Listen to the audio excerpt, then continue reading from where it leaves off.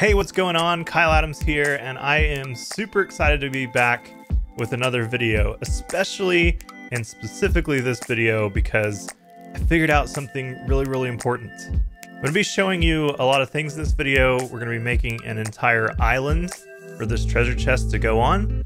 But one really important thing that I learned from this treasure chest was how to make these rings at the top. So as you can see, you know, it's a certain thickness here all the way up and over the top, it looks like the same amount of thickness and it fades off into the back of the chest, giving it this really great depth and illusion of more that you can't see, which in some ways is actually true. And you'll see that in the video, but I tried to make a treasure chest about a year ago, almost exactly a year ago, actually. And this is what it looked like. It looks kind of terrible, have to admit, not super proud of this. But this was my, my real first attempt to make something like this. And the big challenge, as it was with the new treasure chest, is how do I make this metal thick here and continue that on? In this treasure chest, I got I just got really frustrated. I got sick of it. I didn't want to work on it anymore because the thickness just I couldn't keep it going around the top and make it look the way it needed to, make it look correct. I had a bunch of difficulties, and I think the way I was approaching it was the problem. So we're about to watch the whole video of making the islands. Excited for you to watch that. Leave in the comments if you have any questions or anything like that, and I'll see you after we make the island.